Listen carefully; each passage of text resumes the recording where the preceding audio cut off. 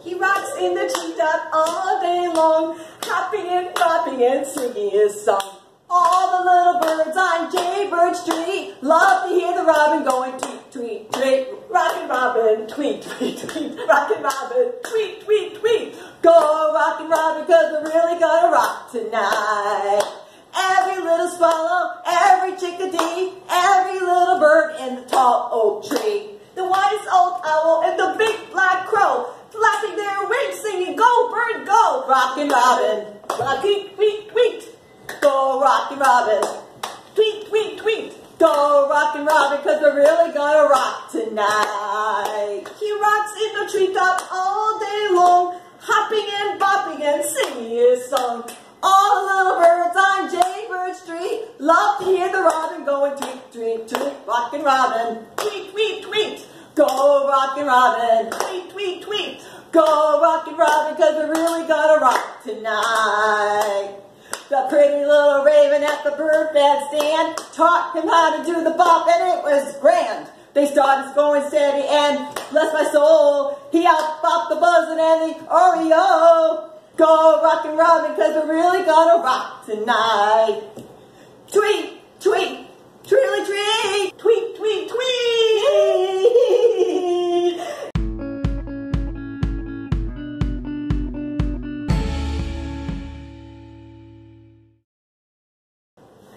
Welcome to Merri Ella Show. Today we are having the beautiful birds of show. Yes, we are. We have a very special guest, my dearest friend Mary. And we have another guest over here. This is Mr. Dove. He coos all the time over here. He's so happy. He's such a happy bird. A mourning dove. And actually, he was singing with us when we were singing the song. Oh, oh, yes, he's a great singer. You sounded better than us, Mary. I think so. So, Mary, why don't you share with us some information about birds? Okay, my birds are going to be are about wild birds, not the mourning dove that lives in the home in a cage. We in New England enjoy many species of birds in our backyards. To make our backyards a bird sanctuary, there are some things we can do. One is hanging bird feeders, and bird feeders include suet feeder, thistle seed tube feeder. It's a narrow tube feeder with a perch of very small holes for the birds to get the seed. Wild bird feeder, there's several kinds, safflower tube feeder, and hummingbird feeder. You can purchase squirrel-proof feeders. A wild bird feeder feeds a large variety of birds, including sparrows, cardinals, catbirds, blue jays, nuthatches, etc. A thistle feeder will feed goldfinches. A safflower feeder will feed nuthatches, tufted titmice, chickadees, house finches, etc. The suet feeder will feed woodpeckers, catbirds, and most other visiting birds. And the hummingbird feeder feeds hummingbirds. In my case, the squirrel drinks the liquid and chews the feeder, not squirrel proof. You know, Mary, it's funny that you mentioned that because so I've, there's been some times I had my neighbors used to say, like bears that were hungry, they used to go to the bird feeders and try to eat from the bird feeder because they were hungry. Yes. And you know, and, and I never also knew. I knew I knew there was like the hummingbird feeders, but I didn't know that there were other bird feeders. Yeah, there's all, I mean, as I mentioned, yeah, there are specific bird feeders for specific birds. I never knew that. Yeah. That's very It, interesting. it is interesting and it's very nice too. It's fun. It's fun. Hmm. Oh yeah, Mary has a beautiful setup in her yard. She has like really nice deck and all the birds they just fly up and she gets to see all of these different type of Yeah. species of birds. It's it's beautiful. It is it is beautiful. It's like a sanctuary. It's like- Oh, it's a sanctuary. So you, I understand that you, uh, Mary, that you also rescue birds. I heard. I have rescued birds, and Mm. uh, one of them was Chirpy the robin, who I raised for nine years. Oh, nine years. How long do they live? Because I'm not familiar In with. captivity, a robin will live perhaps 17 years. Wow, that's a long time. And if outside, sh- shorter time, Oh, four or five years, mainly because of cats. Yeah, But it's mostly cats, huh? Yeah, mostly cats. Oh my cats. goodness. I researched Chirpy. Chirpy came to me as a blob. I mean, didn't have feathers, didn't have Oh. anything, just a little blob. was just a little birdie, probably. Oh, Yeah. robins are kind of small. Yes, they Yeah. are. And in fact, uh, there's, there's Chirpy. Oh, this one here, Yeah. right Oh, there. yeah. That's what they robins look like. Rocky Robin. Rocky Robin. Robin. tweet, tweet, tweet. With a little bit of breast. Beautiful birds. They are beautiful. Mhm. Well, Mary takes someone special like you who cares for animals and care for the lovely birds. I mean, she, she does a really nice job rescuing the birds. And thank you, Mary. You're welcome. Mary. Yeah, thank you. My birds, my bird feeders hang from the pergola over a deck on the second floor.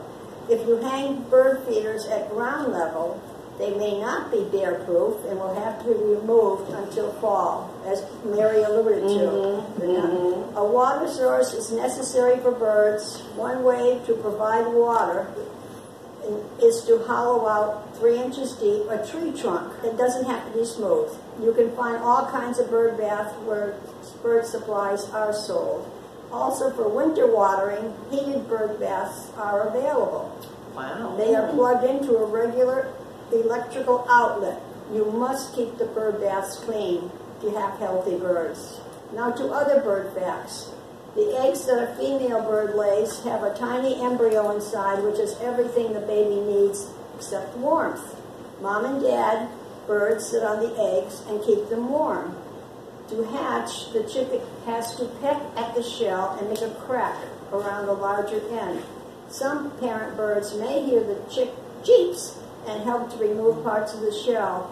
And I just, my friend Judy came over the other day and told me about little house finches that they, were, they made a nest on a decoration on her door, and she peeked in and saw four oh. little blue eggs. Hmm. Next time she peeked in, there were four little mouths waiting to eat. eggs. Oh, oh And then one day, a little, the little bird was sitting on the nest, on the rim of it, mm-hmm. thinking about flying, but he wasn't ready.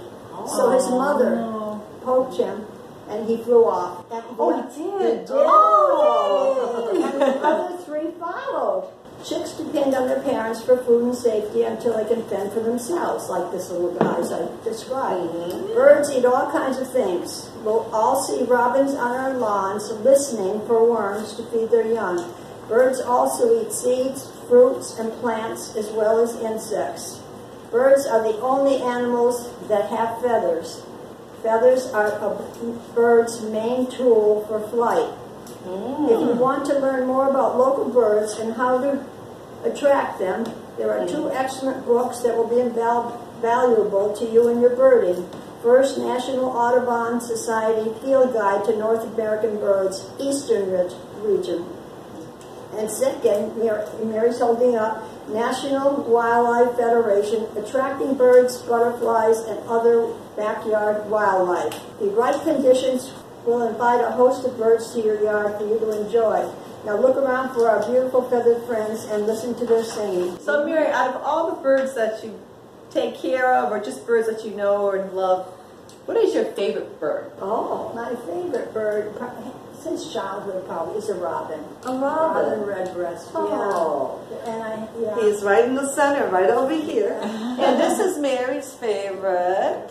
The cardinal. Cardinal, and we have over here Cardinal Peace, World Clean Peace. yes, and to have a disease-free world, so all the uh, the people and all the animals and birds live happily That's and right. healthy. That's the thing that I love about cardinals is just that they're just first of all beautiful birds. They're a gentle, sweet bird, but I love the symbolism of them. Um, they say that if anyone is a visitor from heaven, Yes, yes, and yes. um, that just in times of trouble that I've had in my life or times of sadness, it just seeing that cardinal is an inspiration to Oh, me. that's nice. Oh, cheers, everyone. Cheers. Yeah, and Mary, forgot oh, your cup. oh, I, got, I took your glass off. so Mr. Dove is saying take care, everyone. If he could talk, he would. Yeah. he's, he's not cooling now because says, he's eating. he says, no, what do you say, mister? Oh, okay, okay. Okay, he's saying this, this now brings us to our next segment. Oh yeah, but you forgot. I forgot to tell you that canaries. I love canaries. Oh, yes. And my daughter, when she was twelve, she made this out of paper and glue. A canary. Look at this. Oh, She- so here we all set. Got the canary, handmade canary, when she was about twelve, and she's twenties now. Yes, this now brings us to our next segment.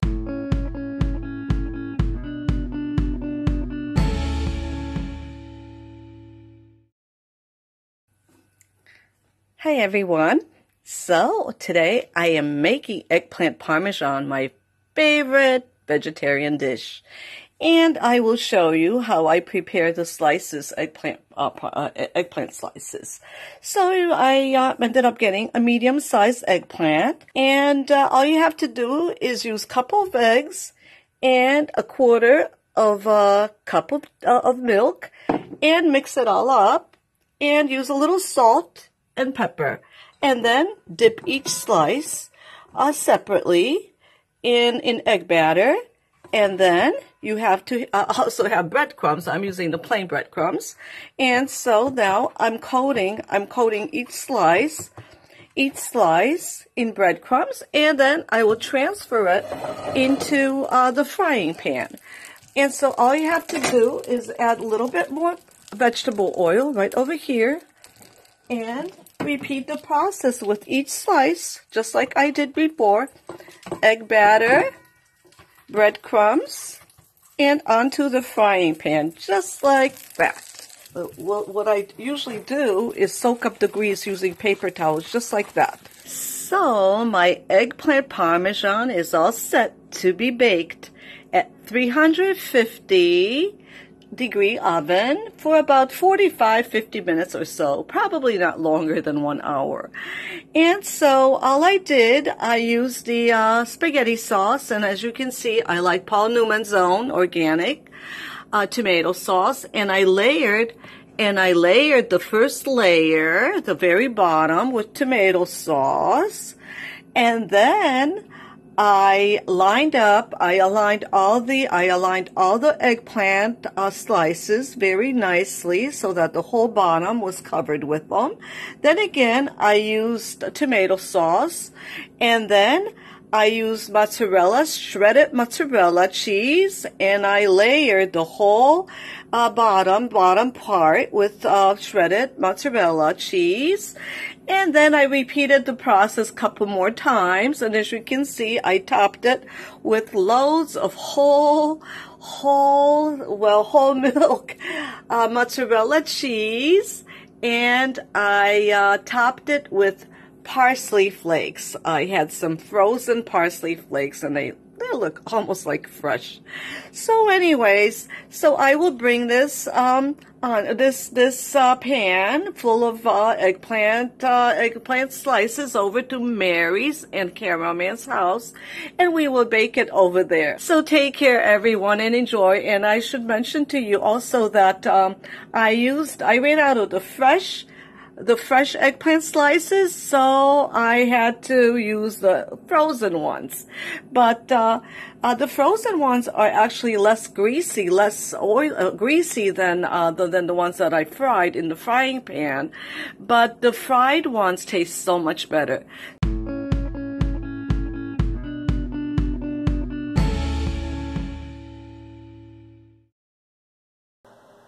Hi everybody, today we're making vegetable stuffed portobello mushrooms. And the ingredients that this calls for are 4 plumped portobello mushrooms, olive oil, 1 to 2 onions diced. You can use any type of vegetable, but today I'm using frozen. Um, I'm also using my favorite seasoning, which I like, is Yoshida sauce. And I get that at Costco's. It's like a soy sauce. It's very sweet and very nice tasting. I'm also going to having, um, you can use regular garlic, but today I'm using garlic powder, salt and pepper. I'm also going to have almonds. And for the topping, I'm going to sprinkle shredded nuts on top. It's going to be um, dairy-free. It's a vegan plate, and I hope you all enjoy it, and let's begin. So the first we're going to do is preheat our oven to 400.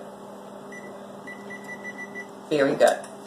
Now, we have our mushrooms, but I already did this. I already pre-did this already. I cut my mushroom, and then I cut the stem off, and then I like used a spoon, and I cleaned like the inside. I cleaned all the webbing and all that, um, the inside of the mushrooms. So this way you have this as a shell, so you can stuff it up with your vegetable. So the next thing I'm going to do is, you can see oh, going, my oil is right there. And now I'm going to saute my onions.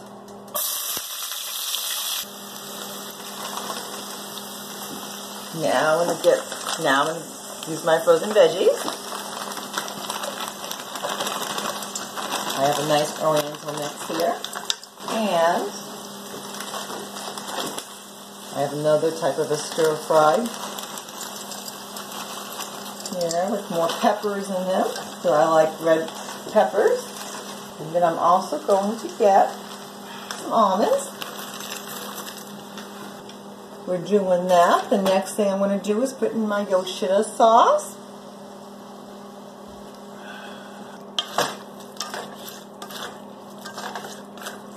And I'm going to increase my heat now again. And while that's doing that, I'm going to now put in my some garlic powder. I like a lot of garlic. And now put some salt. And some pepper. And mix it all up. So as you can tell, the vegetables, they're pretty tender, but they're also a little bit of firm. I like a little firmness with my veggies here. So now we're going to shut off the burners. And now we're going to prepare the mushroom mixture. So over here you have a greased foil lined baking sheet. I have a pan, but um, I just put foil on it and I just sprayed it there. And now what we're going to do is we're going to take out our shell here and we're going to just take some of this nice mixture here with the peppers. There we go. Very good. And then we're going to get some of the shredded nuts I told you about earlier.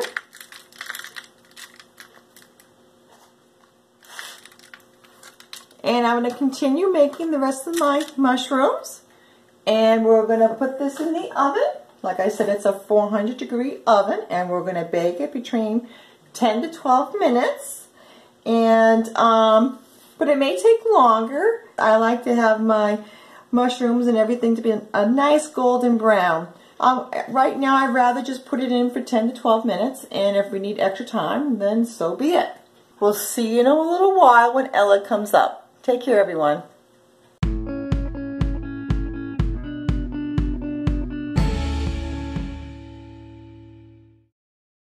I am making a nice flamingo cake. Uh, this is the second time that I'm making it. I made it before for a flamingo night and now I'm making it for our beautiful bird show. So uh, here we go. I already have six eggs all blended up in here. That's six. I'm making double the recipe. So I got the two cake mixes over here. I have two boxes of cherry jello and I already measured the um, over here butter milk, real buttermilk. And now I am going to add two teaspoons of vanilla right there. Here we go, the cake mix. That's two boxes of cake mix. I need to use a cup and a half of buttermilk. I need to measure another cup and a half of vegetable oil. This is vegetable oils. I am going to add add cherry jello cherry jello this is what it looks like and so looks like I'm all set to blend everything up and so once the batter is nice and smooth I'm going to transfer it into the sheet pan and that's 13 this sheet pan is 13 by 18 because I'm making uh, a twice, double the recipe.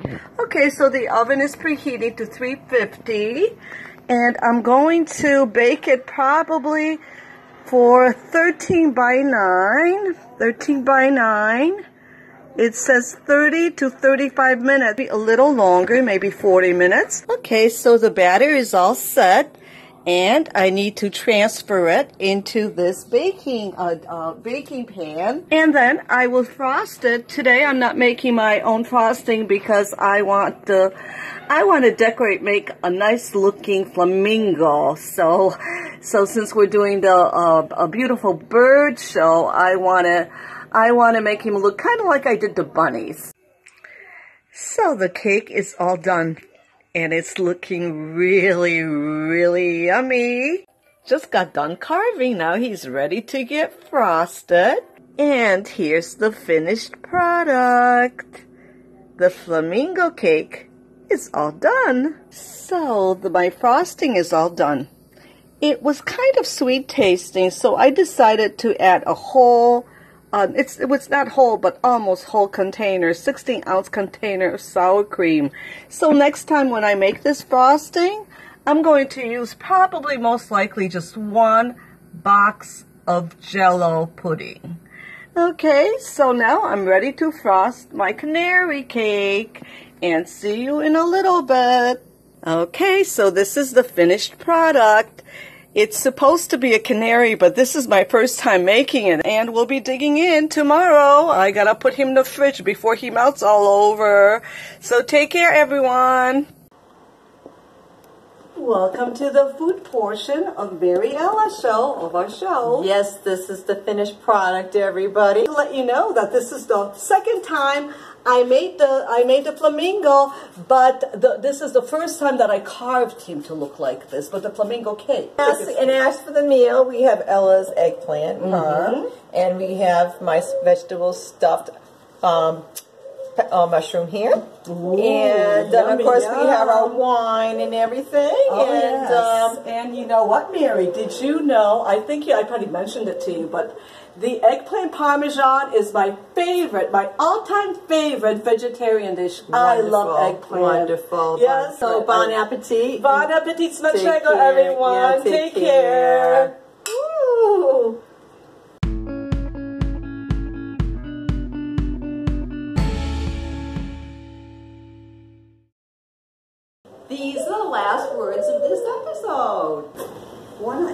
that stands out to me, it is not only fine feathers that make fine birds, and that was by Aesop. And another one is birds teach a great lesson. All you have to do is listen to their song.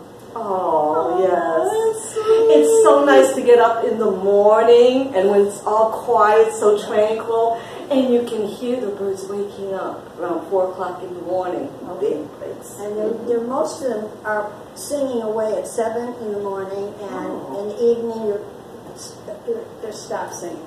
They're going to sleep, I guess, but 7, mm -hmm. but 4 o'clock in the morning, that's good. Well, thank you for joining us today. Don't forget to hit like and subscribe, and please comment. Your comments mean so much to us. And have a wonderful day, and that's all, folks. Enjoy the birds singing. Enjoy. Enjoy the summer.